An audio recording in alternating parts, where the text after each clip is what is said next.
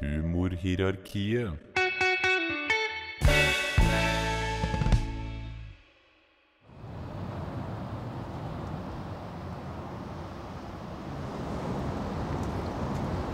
Mora di er digg, altså. Nei, hva faen? Mora di er digg. Mora di er digg. Nei, mora di er digg. Moren til Karsten har blitt diagnosert med brystkreft, så hun må fjerne ene brystet, noe som gjør henne betraktelig mye mindre tiltrekkende.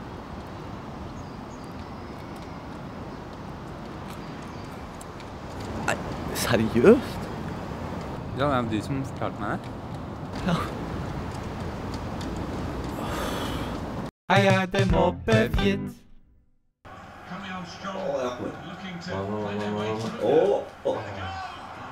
by the goalkeeper.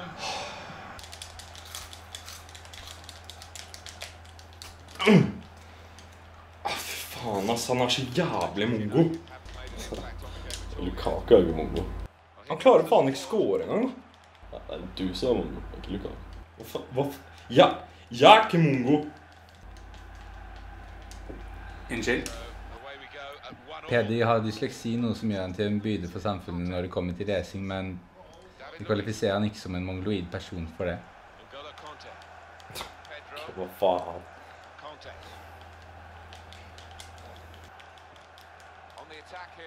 Peder, Ja, kan du sende meg litt av ostepopen?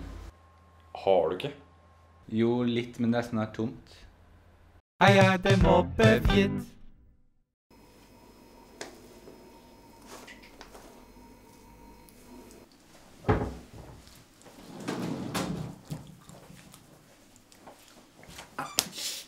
Min bjørk.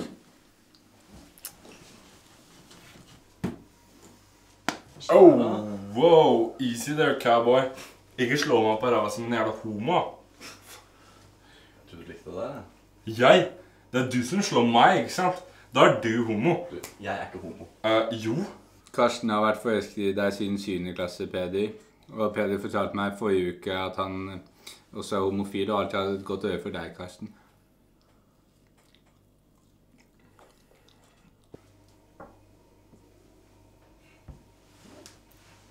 Er det sant? Ja, ja, kanskje, jeg vet ikke. Har du, ja. Har du noe imot det? Uh, Nei. Nei, sorry. Du er vel ikke, du er ikke. Er du det? Er du? Kanskje litt.